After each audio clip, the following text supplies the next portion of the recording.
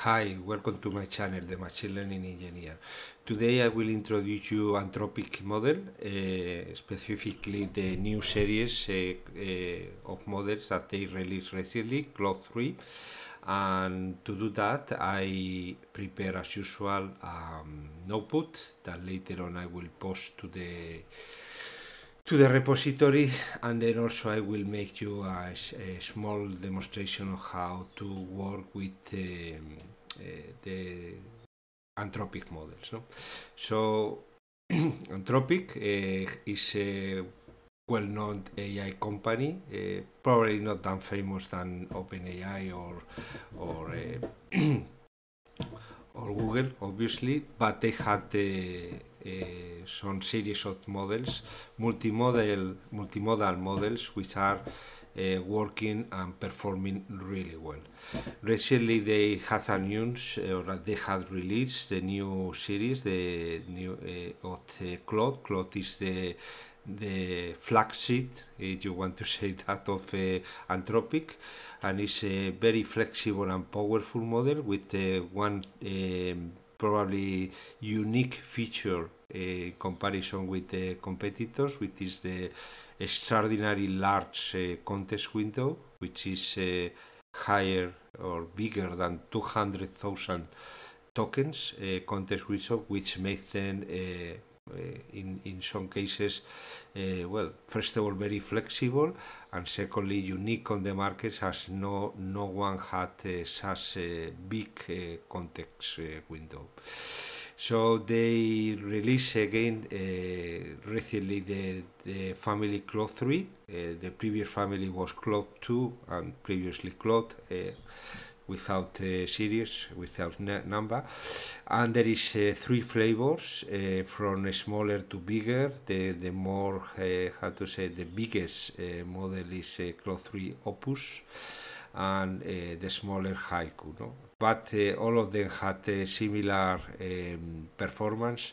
So depending what uh, you pretend to do, there is uh, I will I will say give you later on as well this this link to you go through and understand what are the main difference uh, and for what are designed these three flavors of the,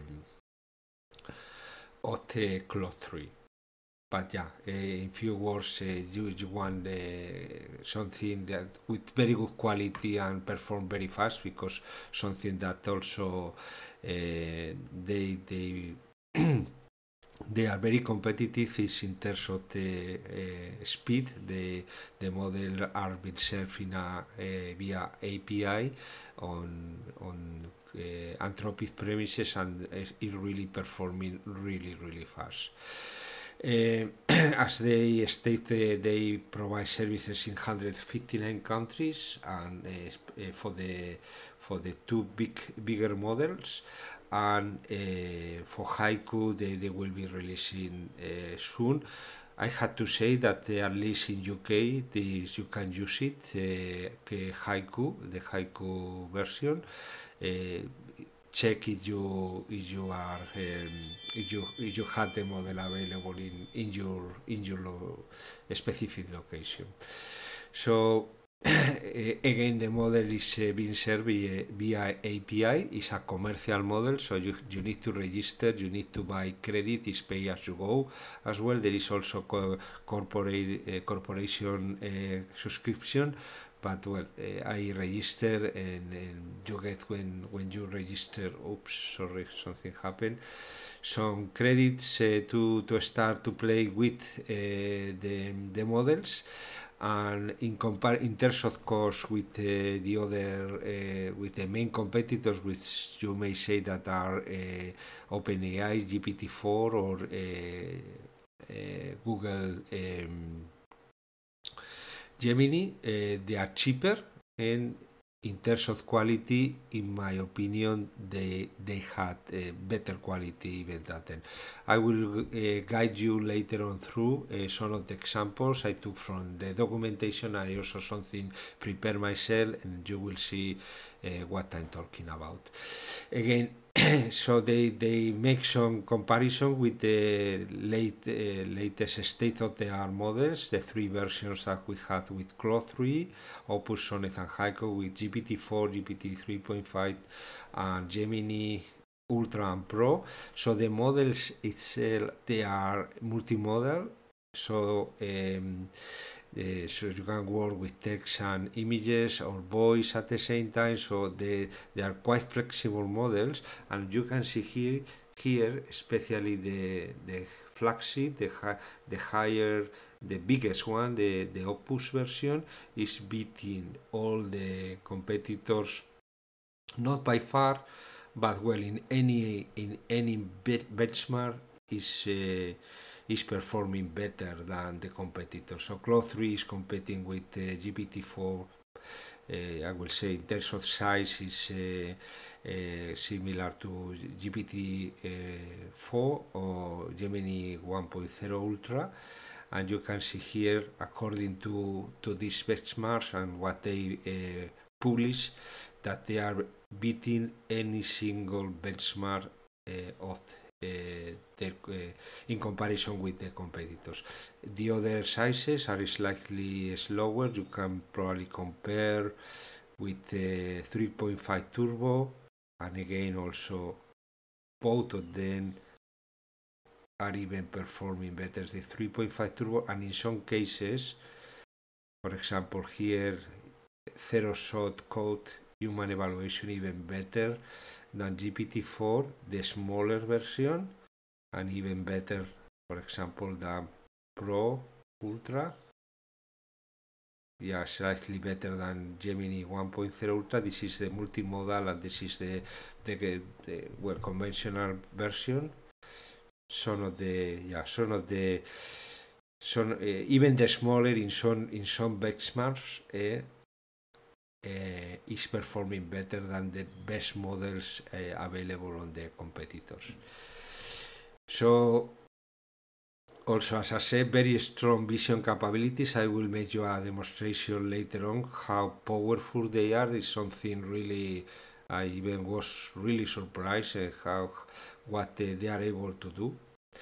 And then on also there is uh, some uh, data uh, guardrails in terms of the, what is possible to be done and not to be done. I recommend you uh, later on the documentation I will provide on the repo. There is all links to uh, you check what, what is possible for the models to answer and what not because they are training to refuse to answer to some harmful contents content uh, this is something very interesting as well because if you even uh, if you try to ask uh, the model to to answer you for a harmful question or a um, or hate question, whatever that, in, in, uh, or including something that uh, can be considered harmful, you uh, they, they are training to not to not to answer, and then on it's better first of all before to start to work with to, to take a review or of what uh, is uh, possible to do and what's not possible to do.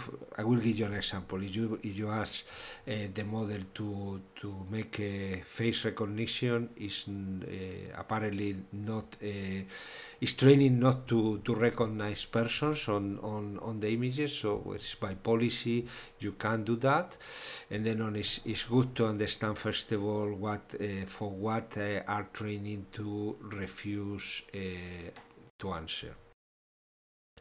In any case, uh, they say that they improved this uh, ability in comparison with the previous version, the Claude 2.5, 2.1. More accuracy. Well, in any case, this is uh, um, the information that they provide. We, we should trust in what they are saying. I, I, I trust in what these people say is quite serious.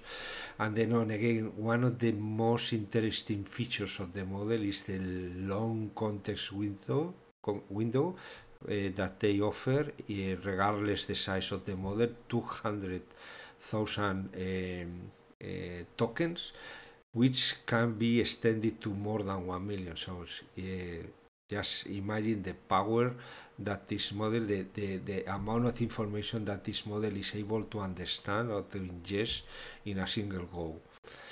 In terms of cost, well, responsible design, I will get you as well. They, they are uh, taking uh, a lot of care about uh, how the model is uh, designed in terms of bias, um, harmful speech, this, this kind of things, and also, again, as I mentioned before, in what is able to to answer and not to answer eh? by by design. This is this is quite good as well. So the, in, you shouldn't need to worry because the model is already designed uh, to take care of, of these uh, scenarios.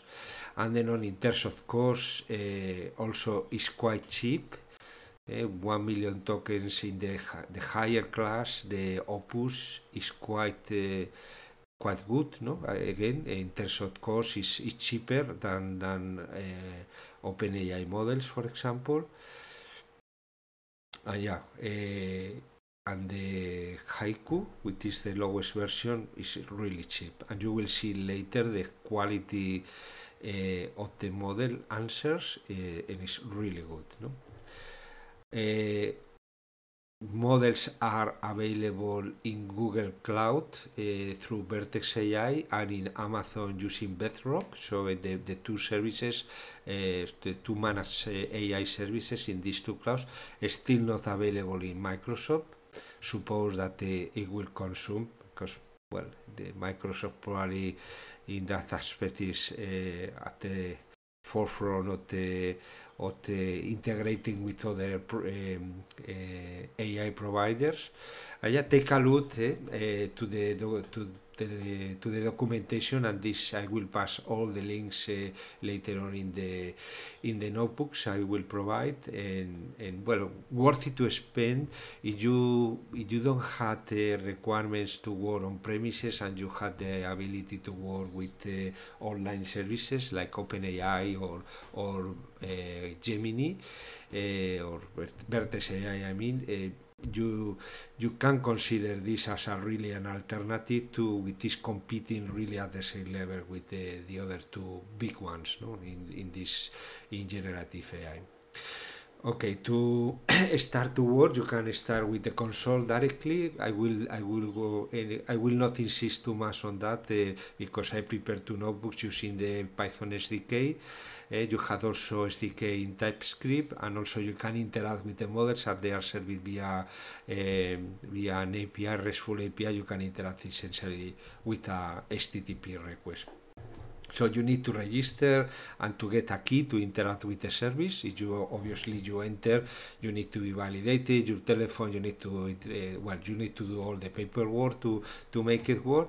You can claim an initial fee of five dollars, uh, with this you can start to play around, and then you can go to the workbench and start doing some uh, well conversations with the with the model. You have here pretty similar to what can offer uh, Gemini Studio or OpenAI Studio. Uh, you choose the model and you start to interact with system prompt, uses prompt, and you can you can add messages to the conversation. Uh, well, temperature and max.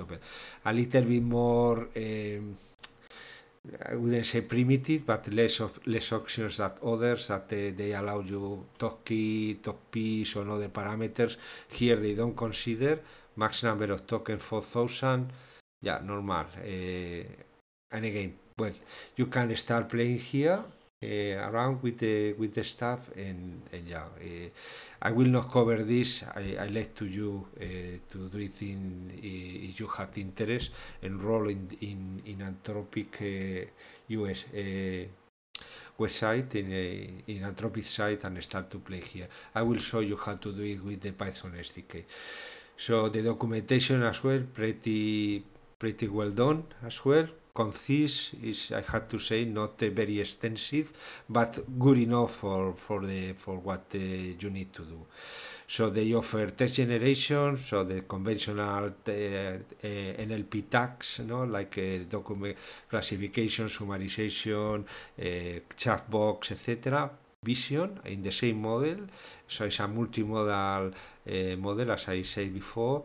Uh, so you can work with uh, multimodal prompts with text images at least. I didn't try with audio, but text and images on the same prone is possible. Embeddings, they don't do it directly, they do it through a, partner, which is Voyage AI, and where they offer some, uh, which uh, they are using the, the architecture, but the models had uh, name uh, it's like a branch or something like that. I didn't went the, through this because it's, it's outside of the scope of this of the of the anthropic and then i didn't want to to to miss up what they are doing. Well they offer the embeddings through this company embeddings are uh, similar size that uh, what uh, OpenAI offers. Uh, 1536 is exactly the same that OpenAI offers, with the large version and well if you are interested or you have interest I can dedicate as well some some time just write me the interest on the on the chat and I can take a, a detailed look to the company. So it's, it's not a problem but yeah for, for today just to tell you that not directly available using the the key that you will need to create uh, to interact with uh, uh, Claude or uh, or with any other anthropic model uh, you will need an additional key to to produce embeddings.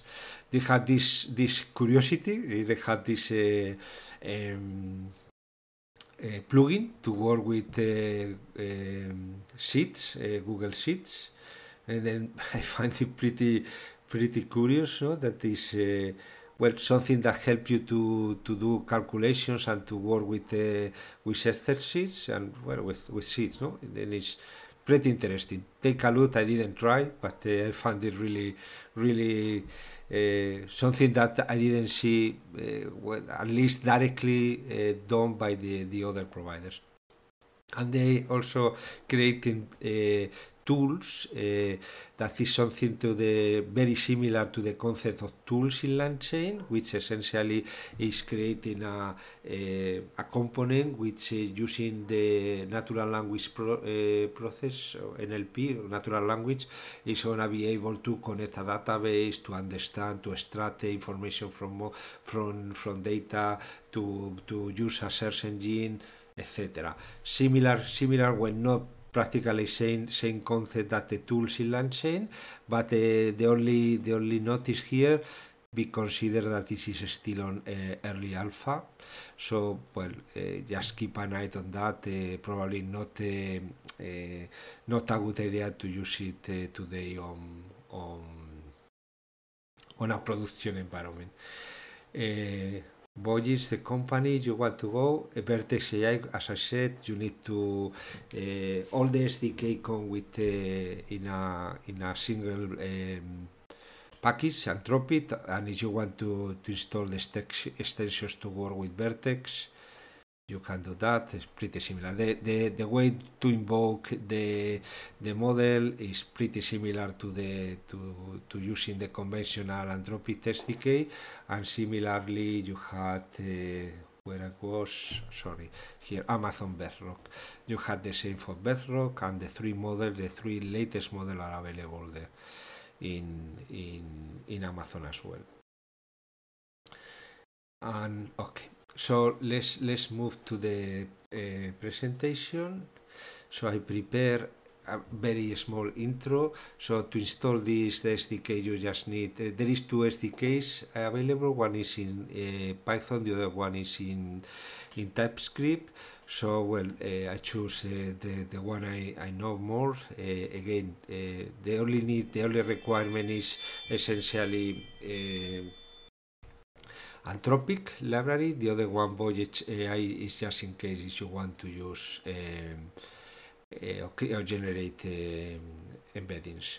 So the way to, to access, first of all, you get the key into your uh, environment. You can either get it from a configuration file or load it in memory, as I do here to, to just make uh, um, aware the, the client that uh, you had the, the key, uh, the key a valid key. No? You can simply do like this OS environment or do it like I'm doing here, initialize the client with the key.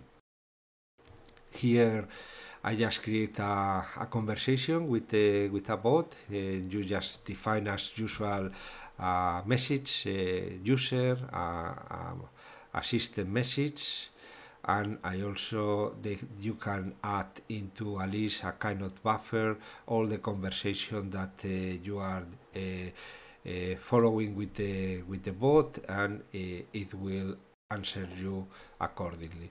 So here I'm Claude, hello I'm Claude, I'm Sebastian. Uh, the model I tell him to, uh, to answer in Spanish the max number of tokens. Um, uh, well, sorry, here we define the client and then the, in the client you have the, the, the class message and you can create a new message, a maximum number of tokens, and then you you send the this is automatically sending the message to the API, and you receive an answer. The answer is also a message uh, from the message class, and then you can extract the the text. Uh, with the and with the role assistant you append to the list of messages in, in case that you want to keep the, the or you want to send the history to the to the bot and here I append a new user messages and I ask him to uh, to prepare how to prepare a chocolate uh, souffle and then he's answering in Spanish. I ask him why I'm doing that because he's also able to not only to answer you in different languages, also to translate. It's quite again quite flexible. So take a look in your own environment. Uh, and, uh, with other languages, with other kind of uh, bots, is is quite quite well. I will say impressive, but yeah, I don't eh, tra, tra, traio ela el, el, el tecalo de, de abilities da T-Model hash. Here uh, I make uh, one of the tests I did uh, for all the models I've been testing for Gemini Pro, Gemini, Gemini Pro Vision, sorry Gemini Pro, for uh, GPT-4, for and also probably you follow my channel, you you may see some videos I upload in training Llama 2 7 billion for with a chain of thought. Um, chain of thought a uh, dataset and also a Mistral 7 billions and I did uh, several questions or re reactioning uh, to, to the models and uh, how they behave. And then there was always a question, this one, the car depreciation uh, question that none of them, including GPT-4 or Gemini, that, that was answered correctly. So it's a probably hard question. You, you need to know kind of uh, so, kind of some knowledge in accounting in how to prepare how this uh, specific method works. I, in my in my case, uh, I know from from my times in college. So, but yeah, in, in this case, my opinion is not not very hard, but obviously it's uh, probably uh, about the average. No, again, this question was uh, fa fail. any model I try, I try so, some of them, including the the the, the biggest one, uh, like uh, GPT-4 and, and Gemini Pro. Um, both of them fails on answering this question, and then with the Opus, Opus is the top class in Claude 3. It was answered correctly. So, well, good done.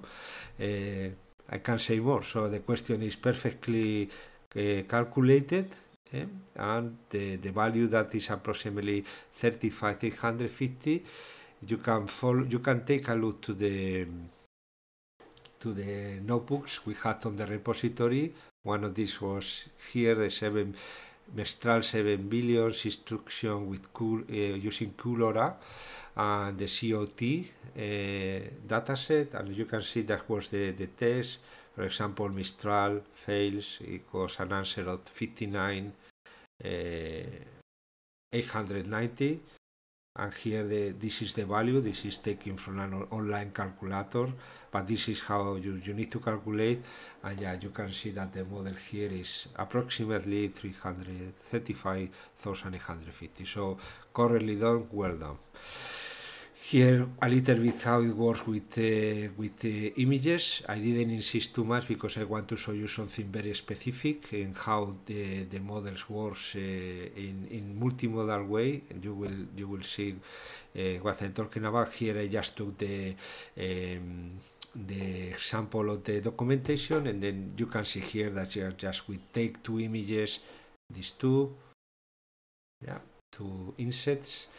Um, we encode it in base64 and we we just send it exactly the same that we send to the conversational ch chatbot. And uh, we just specify in the in the content that we had an image and the, the source. Uh, again in the source we we touch, attach uh, media sorry the base 64 encoding of the images. And then we ask and we, we provide an instruction. Okay and here you have the uh, the answer of the model try with your own images as well. I didn't want to go this because uh, again I prepare a second notebook with something very specific that I'm, I'm working on. And uh, I didn't want to spend too much of your time as well on that. Uh, I leave it to you and and then play around with this. Also the documentation is quite uh, well well done. You can you can introduce multiple images and compare ask the model. And what i say before uh, take a, uh, understand that uh, we are sending to the same model two images here and then we can ask them to compare the models. For example describe here we say describe this image. Compare both images and then that's all no? And then all, it will make a comparison. Having such a context window is, is possible to do these kind of things because well again you had a very large uh, window context and the model is able to ingest uh, such data. Base 64 you probably know uh, is a is a format to, to transfer binary content through HTTP. So, well, I, I guess that uh, in the other side it will be transformed to binary content and then on that will be what uh, we pass to the model for inference. But yeah, uh, easy to, to use and uh, a lot of possibilities because this input token, we had 1622 tokens and output 200, 233 as any other uh, uh, SaaS service, this kind of information is useful just because you need to calculate how much money you are spending on that. And then on here, I prepare a, very specific example to, to show you the the the power of these uh, of these models as well. I just uh, create a document it's an scanned document with a report it doesn't matter what. I just wanted to show you it's a document with uh, scanned from a from a from a uh, scanned and converted into pdf with an scanner. And you see the document had tables and had as well uh, handwriting no? And then i just uh, here uh, open the well the client is working the same uh, just I open the the the file in the PDF in binary format uh, uh, here I transform it to 64 but no need to do it in, in, at that at that stage because uh, we need to extract the images from the PDF um, and then well, here we are preparing the the the prompt, the, I'm, I'm, asking the model to return the content of the, of the image in text and then on no translate because if you don't specify no translate it will translate. If you you send a, a, a, scanner of a document that is in, in, in Spanish or German it will translate it to, uh, to English automatically unless that you specify not to do it. And then I, I take the smaller one haiku so this is the smaller version. I prepare again here the, the contracts. Here I'm reading the, the so taking the bytes that I read from uh, from the PDF and convert it to um, to bit to bytes in uh, with this uh, uh, 300 pixels by page and in uh, transform to gray to gray scale uh, uh, we don't need colors when we are doing OCR that is exactly what we are gonna do. And then on here we extract the two pages uh, two pages of these eh, documents. It contains two pages one and two. So we extract the two images. At the end eh, when you scan a document with this and you save it in PDF, essentially the PDF is just a container and is the container according to the PD, PDF specification, but the only thing that you have inside is one image per page. So we had what we are doing here is just extract the two images that we had in uh, one per page and serializing the image to, to the DICs just to visualization and then on here uh, with image with pillow we are taking reading the the the, the image uh, from the numpy array that uh, is being generated after converting the the PDF uh, with this method, no convert from array. So we had in this uh, list of pages to to to pillow images. You can you can check here. This is the one of them. You can check the type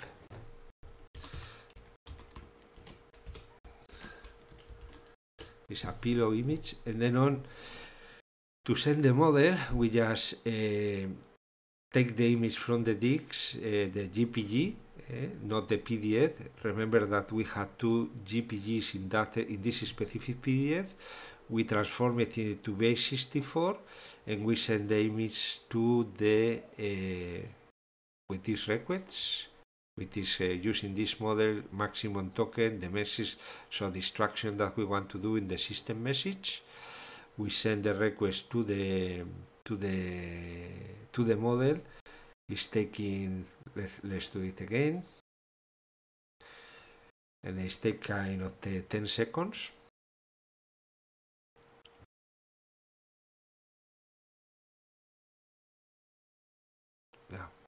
Yeah, okay and you have here. It's making an OCR eh, extracting the text of the document really well. So it's uh, in, my opinion impressive.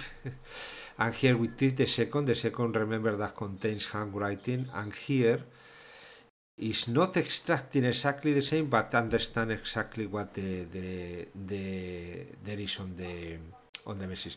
Probably I need to refine a little bit the instruction and tell that it's a, it contains something that you cannot uh, understand, like handwriting. Don't extract it, but extract me literally the text that you, you find on the on the on the on the on the image.